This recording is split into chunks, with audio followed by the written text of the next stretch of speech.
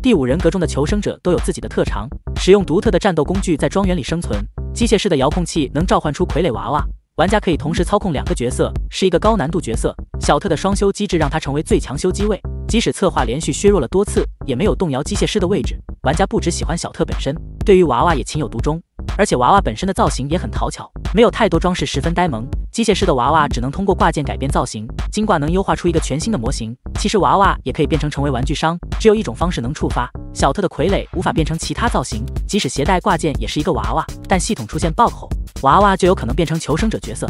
近日，玩家在观战时就看到了娃娃变成了玩具商，但游戏内并没有发生改变，应该是一个观战系统的 bug。从观赛页面的右侧角色状态栏中能看到，四位求生者没有人使用玩具商，机械师正在操控遥控器，画面中出现的玩具商就只能是娃娃。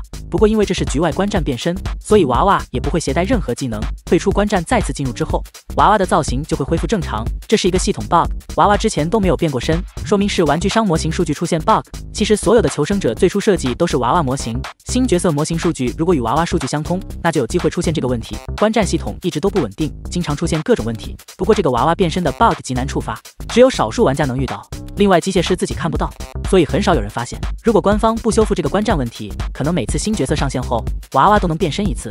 那么问题来了，你在游戏中都遇过什么 bug？